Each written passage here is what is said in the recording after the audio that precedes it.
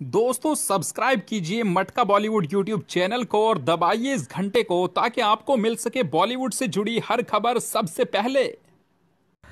दोस्तों, स्वागत है आपका एक बार फिर से।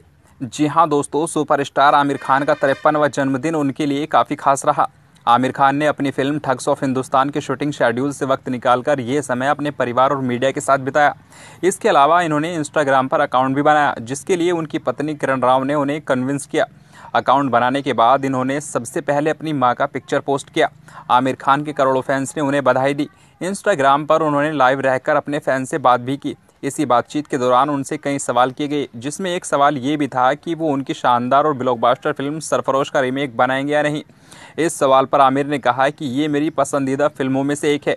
सरफरोश टू बने तो मुझे सबसे ज़्यादा खुशी मिलेगी। एस राठौर का किरदार पर्दे पर लाना चाहूँगा। मैंने डायरेक्टर जॉन से कहा है कि आप इसका पार्ट टू बनाइए।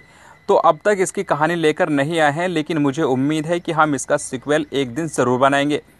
तो दोस्तों, उम्मीद करता हूँ आपको न्यूज़ पसंद आएगी। मैं फिर मिलूँगा आपको एक नई वीडियो के साथ। तब तक के लिए अपना ख्याल रखिए एंड वीडियो को लाइक एंड शेयर ज़रूर कीजिएगा दोस्तों। Thank you